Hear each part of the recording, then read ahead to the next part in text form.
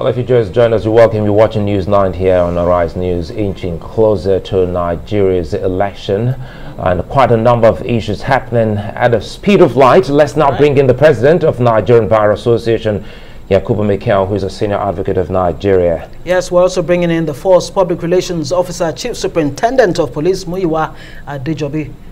Well, let me start off uh, with uh, the NBA president. Uh, your uh, association has been very, very concerned about latest happenings uh, here in the country as the country moves into the election. And uh, another very unfortunate incident has just happened in Nigeria's southeast region with the killing, gruesome murder of a candidate who is also a lawyer. Speak to us on how much of concern your association is having at this critical time for Nigeria. Well, thank you very much for having me.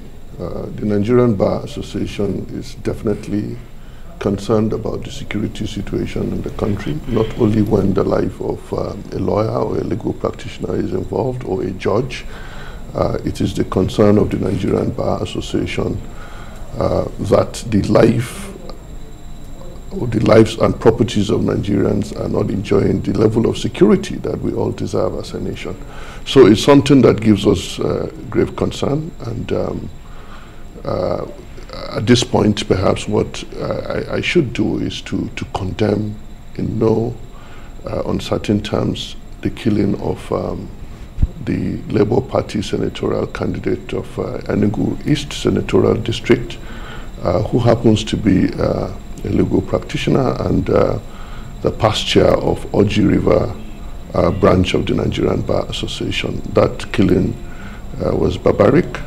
That killing was was was evil, and we condemn that that particular killing and then call on and government and all security agencies to step up uh, their game in ensuring that the lives and properties of Nigerians are protected. It is the only way we can have comfort to go into the election and exercise our franchise and the choice of who uh, would lead us. But this atmosphere can never guarantee free, fair, and credible election. Absent security, there is no way we can all go out and express our franchise, our choice uh, of our preferred candidates because it means that um, with the use of force that we have seen against uh, uh, this our colleague, like uh, other Nigerians have suffered, it means that uh, some undue influence um, uh, is being asserted, you know, on the electorate to influence their choice of their candidates. Right, let me bring in the CSP here. Muyiwa Adejobi, I mean, you heard the NBA president there uh, actually kick the ball into your net, saying that, look, a lot depends on security agencies to ensure that a safe environment is provided for Nigerians as they go to the polls on, I mean, in less than 48 hours. Now, what exactly is responsible for this uptick in security challenges, killings, uh, I mean, just a few hours ago, we heard about the uh, Ebonyi situation uh, from Enugu, Imo, everywhere across the country. What exactly is responsible? Is it a failure of intelligence and we don't hear of arrests or even apprehension before these crimes happen?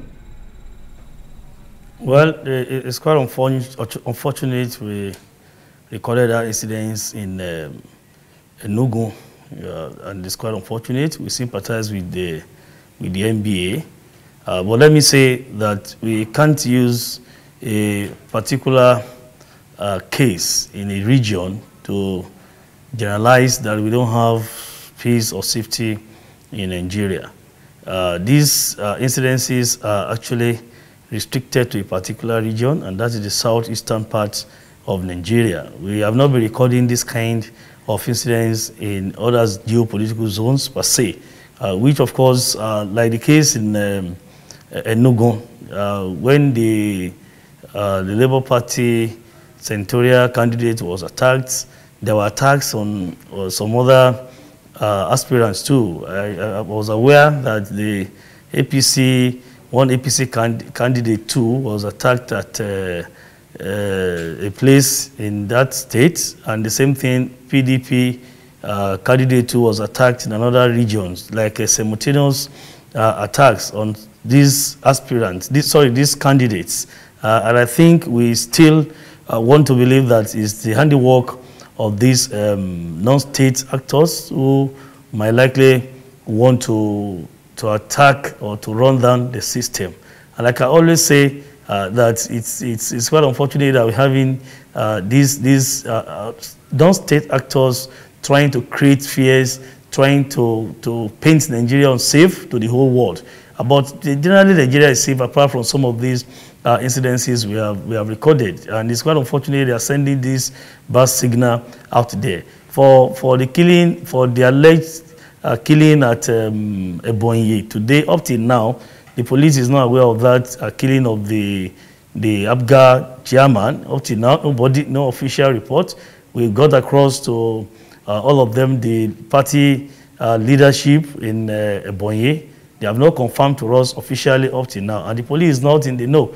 So I don't want us to still believe that we have recorded another killing in Ebonyi. So for now, we cannot confirm that. But generally, we can't use what we have in this region to generalize that Nigeria is not safe. It is not so. We are ready. When you say we can't generalize, sorry, let me put it. Um, Victoria Chintex, the Labour Party member in Benue State, I mean, that's not in the southeast. Uh, when you say it's limited to just one region, one part of the country, uh, is that the absolute truth?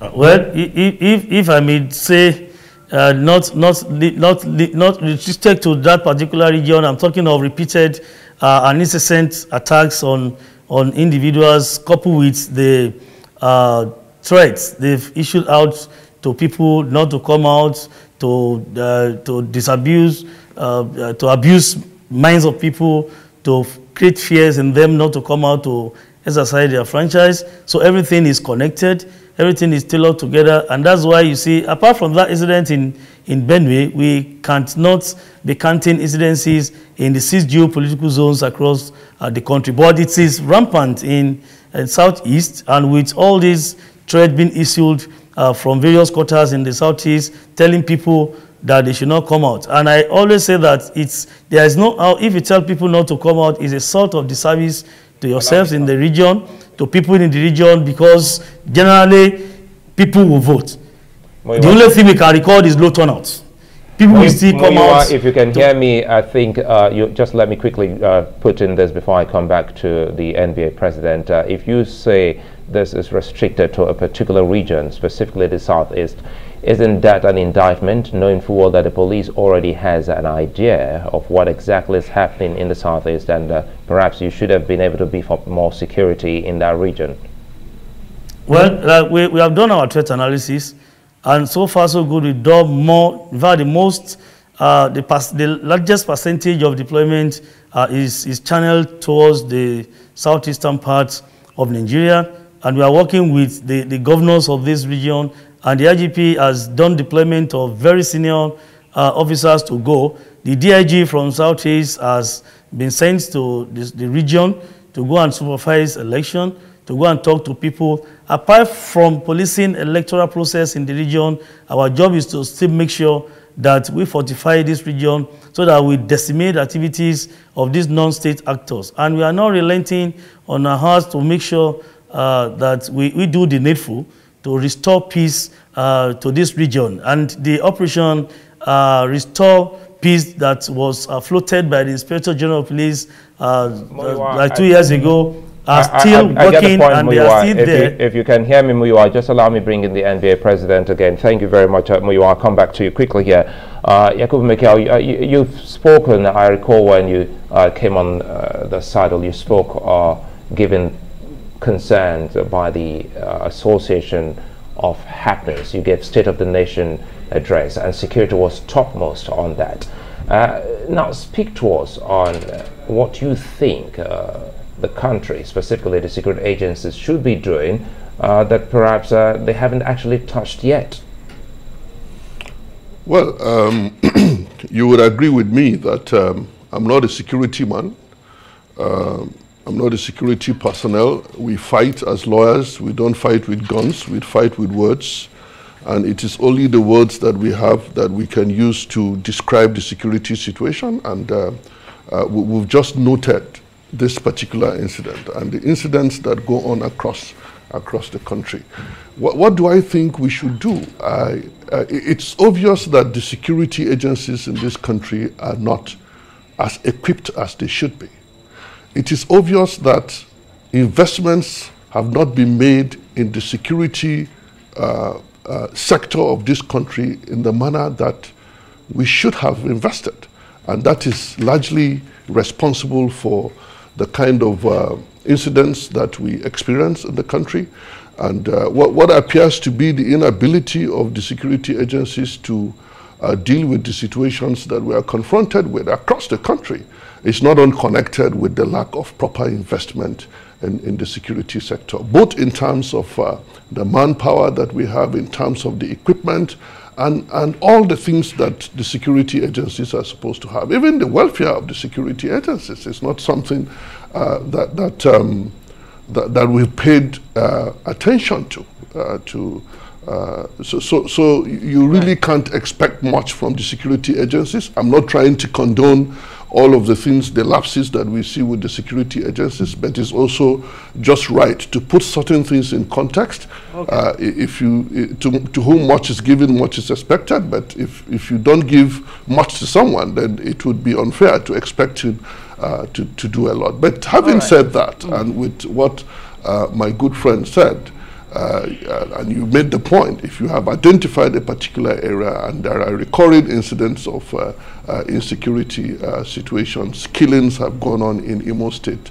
I mean, courts have been burnt down, lawyers and judges mm. have been gunned down in the premises of the court. We haven't seen the kind of response that we expect from the law enforcement agencies, and it gives us a grave concern. And I say this not just for members of the legal profession, I say this for every Nigerian, because the Nigerian Bar Association is concerned about the, the protection of the lives and the properties of every Nigerian in this country. That is what we are committed to, that is what we stand for, and that is what we'll continue to speak for. Right. Uh, Mr. Muyiwa Adejobi, you heard the NBA president there saying, look, it will be unfair to expect so much uh, from the police, bearing in mind, according to what he said now, uh, the paucity of you know, equipment, maybe morale, and, and all that you need to actually ensure that you do your job effectively, whether it's elections or wherever the need uh, to ensure security uh, arises. What exactly is the situation in terms of welfare, especially as uh, police officers,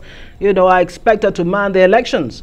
And is there a problem of capacity or capability in ensuring and not just apprehending or stopping this you know, violent attacks or crimes before they happen, but to actually, uh, you know, arrest, investigate, and uh, prosecute those found wanting. What exactly is missing? Generally, the, the, the police is just the lead or coordinating agency when it comes to election security management. Other security agencies are involved, uh, are members of ICCES, that is interagency Consultative Committee on Election Security. All of them are involved, including the military. So we have done deployment based on our threat analysis. We have done deployment to all the polling units, uh, local government areas, INEC facilities, those that will do uh, escorts for materials, INEC officials, protect observers, and all of them. We, we have done this, and we are optimistic that deployment is okay enough. We have done deployment for restriction of movement so that we can uh, curtail excessiveness of certain individuals who may want to go out there to cause trouble. And generally, our men that are going to be uh, on election duty, they are, they are, to be paid their allowances. As I speak with you, they have commenced uh, the payment of the allowances for this first, uh, the first leg of the general elections, that is presidential and National Assembly election that's coming up on 25th. And of course, they will still give them certain allowances for the second leg, that is gubernatorial and uh, House of Assembly elections across the country. Uh, we have provided uh, body personal uh, protective equipment for them, the body armor, bulletproof vests, and the likes. Recently, the president unveiled some of these uh, state-of-the-art equipment for us, including uh, non-lethal weapons that we may use for crowd control, so that we will not be using forces at all times to disperse any protest. So we have taken care of uh, the election issues and post-election issues that may come up after these general elections. So generally, we are working together with all agencies, and we have taken done deployment to all polling units in the four, four, seven, seven, four local government areas we have uh, in Nigeria. So we are good to go on that. And the, the, where we're having issues like the Southeast, uh, deployment have been done again. Even today, additional deployment uh, uh has been done in that area. And we are hopeful that we will be able to curtail the excessiveness of these non-state actors who believe that if they want to attack the state, the, the, government, they need to attack even security operatives. You know, you are not spared as well. But I mean, I've lost some of our men to these attacks, yeah. and we are mindful of that. So we have done what we should do, and we are still, there's room for improvement. We can still do better. Let's close with uh, the NBA President, uh, Yakubu Maikyau. Uh, you've identified quite a number of issues, and uh, quickly, on Saturday, the National Assembly election will also hold. Uh, is the NBA looking to also, you know, bringing up some form of bills uh, to help uh, solve some teething security challenges that the country is going through at the moment?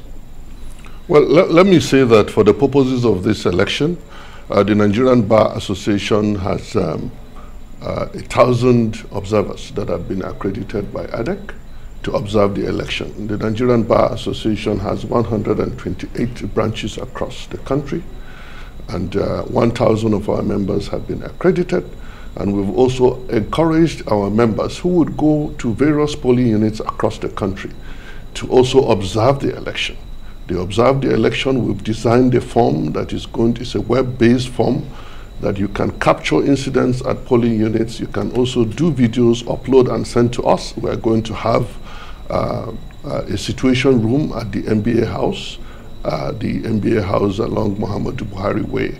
There we'll be receiving all the reports from all the branches so we can have a sense of what is going on across the country. Are we proposing bills? Yes, there are concerns about things that uh, with, with uh, the, the experiment of even the 2022 Act, Electoral Act, mm -hmm. that had been enacted, and, and also certain constitutional provisions. we've looked at them. we believe that the, some constitutional amendments are necessary for us to uh, to, to open up the political space. And I can say this concerning the need for us to have an independent candidature that provision has to be made available uh, under the constitution so that and we are not before we let you go yes, voting because exactly. your, your bar has actually uh, shown Nigerians that uh, it is possible. Yes so so uh, we, we did that. It was uh, uh, an electronic voting system that we adopted for even my election. That was something that we introduced in the amendment to the constitution in 2015 and uh, from that moment, we've been having that election, and it's been quite successful. I had cause to uh, engage the chairman of uh, uh INEC on this, and uh, uh, the use of BVAS and some other electronic devices that have been deployed for this election is, is they are preparatory towards the electronic platform that I, I believe INEC is uh, eventually going to launch for the purpose of election. Right. And you must understand that the, the necessary infrastructure must be put in place for them to be able to do that. I can understand that for us in the Nigerian Bar Association, we did that successfully because of the number of our members that we have to contend with for the purpose of the election. A lot has to be done for the purpose of a national election, so the kind of infrastructure that you need to put in place, the kind of manpower, and then the understanding. The literacy level is also something that we have to consider. So right. in doing that, we have to do that in phases, taking into account our peculiarities as a nation in, uh, in, in, in, putting up such electronic platforms for, for, the purposes of election. Yes, we encourage that. It's something that is seamless. It will reduce right. the exposure of electorate. I mean, you sit in your house, you cast your vote. Chances are that nobody is going to walk into your room uh, to, to harm you, unlike when you have to all congregate at the polling unit to do this. We'll have to leave it there. Yakubu Maikyau, Senior Advocate of Nigeria, is President Nigerian Bar Association. We've also been joined by CSP Muyiwa Adejobi, Police Public Relations Officer. Both of you gentlemen, thanks for joining us.